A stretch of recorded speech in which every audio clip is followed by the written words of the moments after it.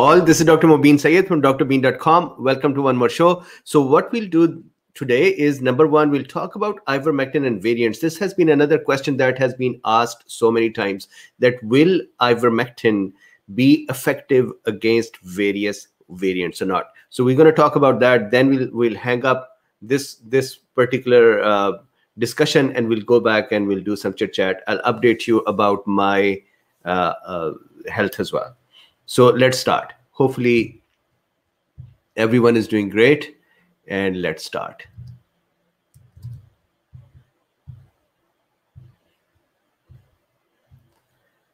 So this is drbeen.com. This, I loved it. This is the New York Times, but this uh, particular um, article here is beautiful.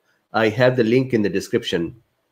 Compare that to this rather barren and, and less useful CDC's article about variant as well. So this is January 28, Science Brief Emerging SARS-CoV-2 Variants. They only talk about UK, South Africa, and Brazil. Here you would see actually UK, South Africa, Brazil, then US, and then California, New York, and so on, Illinois. So you would have a much richer discussion in this article. This is another uh, CDC article, genomic surveillance for SARS-CoV-2 variants. Again, not, not a lot in here. I continue to be disappointed by these organizations like CDC, FDAs, and WHOs. Very rarely I feel comfortable that what they have presented is complete.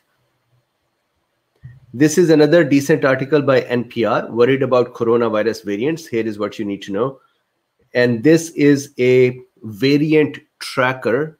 So just like Nextstrain, which is here, this is Nextstrain. I'm actually going to uh, turn it off because it takes too much of the processing power and that causes a lag on the video relay. But this is Nextstrain, which has various strains of SARS-CoV-2 and they're tracking them. And these are the strains present in various countries and their percentages and so on. So I'm gonna I'm gonna turn it off here this is also a very decent site. This one is lineage cov-lineage.org and they are also keeping track of various variants. And you can see actually this this whole list is variants and these are just some of the variants. So i'm going to turn this one off as well because this also is going to take processing. And now we would use this one in my illustrations. So let's start from here. So the question is, is ivermectin still effective against variants? And let's spill the beans. So this was my depiction of spilling the, the beans or spilling the cool beans, if you can. And that was the answer is yes. So then the question becomes, why is it yes? What is what is it that ivermectin is doing that even vaccines are struggling against various variants, newer variants. But ivermectin, what is so magical about it? And to those folks who have been uh, yelling and cursing at me that I am some sort of a uh, I do not know, some sort of a snake oil salesperson who talks about ivermectin's mechanism out of the blue and these are all wrong mechanisms. We have done these discussions in the past, and I have the link to every single mechanism that I've talked about. It is possible that those mechanisms themselves, the studies, the articles themselves are incorrect. Then I am incorrect as well. But I have not talked about anything without some basis uh, in the medical research. Uh, and what do you think about this little diagram of the cool beans spilling the beans?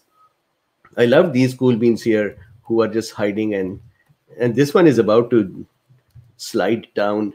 So let's start. So the discussion is variants and will ivermectin actually help against the variants? So let's see. The very first function of the SARS-CoV-2 is to bind with our cells and enter the cell, correct? So that binding is at the ACE2 receptor or ACE2 enzyme this is the only area where it is possible that the ivermectin's function is slightly um, compromised or lessened. For example, if you see here, UK variant, UK variant has spike protein mutations, and we have done a UK variant discussion in detail before. So N501Y, there is a de deletion on spike protein for 69 and 70 number 69 and 70 amino acid. Then P681H, that is a uh, mutation in the cleavage site of the spike protein, protein S1 and S2. And this variant is B117. So that means the, the spike protein is slightly changed. Now we know that the one of the function of ivermectin is to actually bind with the spike protein and then also uh, hinder the engagement or docking of the spike protein with the ACE2 enzyme. So if spike protein has significantly changed, which causes the ivermectin not to be docked with it, then the virus could escape. So far, that has not happened for any of the variants. Uh, Brazilian variant B1351, it has mutations K417N that is on the spike protein, E484K that is on the spike protein, N501Y, that is on the spike protein, all of them so far still within the capability of ivermectin to continue to bind with them. South Africa P1 or the Manaus uh, uh, strain variant, these are the uh, changes in there K417T on spike protein, E484K on spike protein, N501Y on spike protein. And again, those are within the capability of uh, ivermectin. In the US, then, the important ones, for example, in California, the variant B1427 and B1429, these have become about 40% of the uh, SARS-CoV-2s present in the in California, in my state, 40% uh, of these are these new variants, and they have a mutation which is called L452R, which is also in the spike protein. It makes them a little bit more contagious. Then there is a New York variant, and there are tons of variants everywhere. Uh, I think we have just become a little bit more fascinated by these variants. So B1526, it has a uh, mutation on E484K, which is on spike protein. Then another mutation called S477N on spike protein, which actually increases the binding affinity. All of those are still not big enough or extensive enough to stop the ivermectin from stalling or interfering with the virus from binding. But if at all in the future, some strain, some variant is going to escape the antibodies or one function of ivermectin, that may be here. So has not happened here. So that means the original wild type or any of the variants are still within the capability of ivermectin to continue to work. Now, why uh, vaccines may be reducing their effectivity because vaccines are actually targeted in the areas or to the areas where mutations are occurring. So the antibody binding is becoming less effective. So continuing on. Second, once the virus has docked with the ACE2 and then the TMPRSS2 enzyme kind of uh, primes the spike protein. Then the virus fuses with our cell membrane or maybe enters the cell membrane. It can do either of them. And then the viral RNA is released in our cytoplasm and the ivermectin did not have a function there for any of the viruses. So it does not interfere there. So that means it will not interfere with the original and it will not interfere with the variants. Now, remember, if you're just uh, thinking about hydroxychloroquine, hydroxychloroquine actually affects this area, and hydroxychloroquine would affect this part of original and all the variants as well. Ivermectin just does not have any function in this area. Continuing on, replication. So, in when the virus starts the replication process, what happens is the viral RNA binds the messenger RNA, binds with our ribosome inside our cytoplasm, and then that ribosome would work on this uh, genetic material for the virus and start producing viral proteins. One or two important proteins are RDRP of the virus and 3 chymotrypsin like protease, both of them are affected by ivermectin. And for all variants, these enzymes are the same.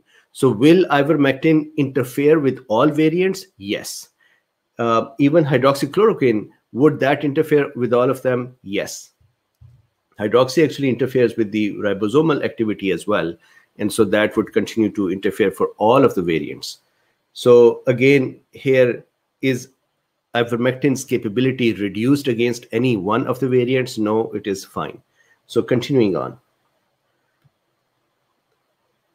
Then the cellular defense reduction. So this is another function of the SARS-CoV-2 that it sends a cargo, viral cargo in our nucleus through by using the proteins called importin alpha and beta.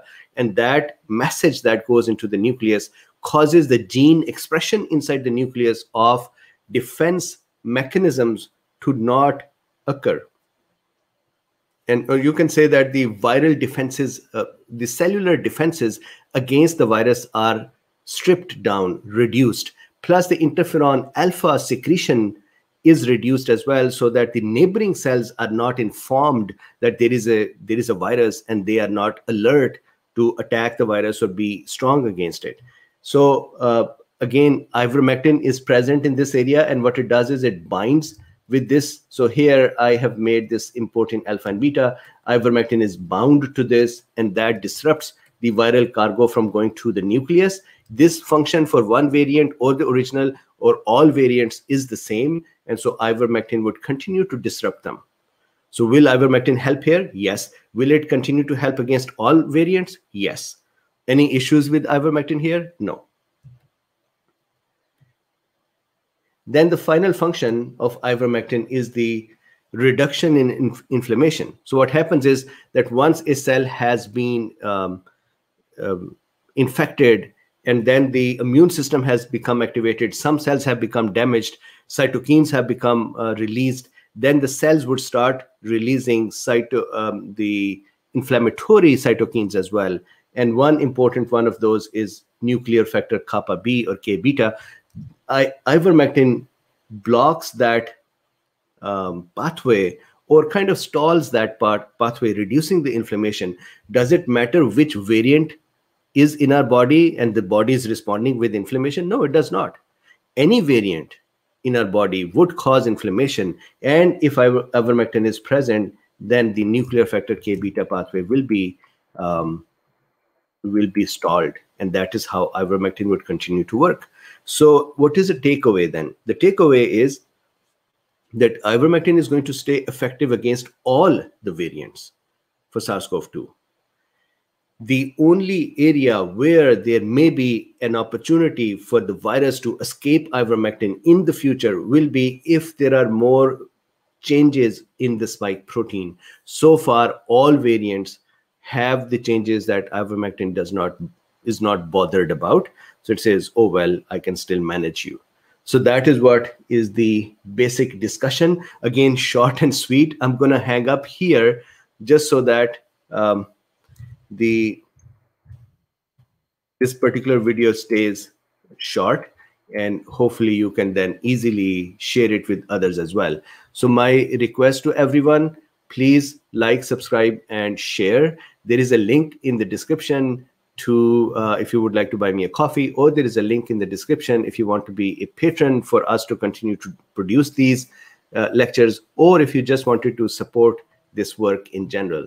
And if you wanted to do something really just minimal, then you can just like and subscribe. And that itself is also very useful for the channel's growth. So thank you very much. And I would see you in a few minutes.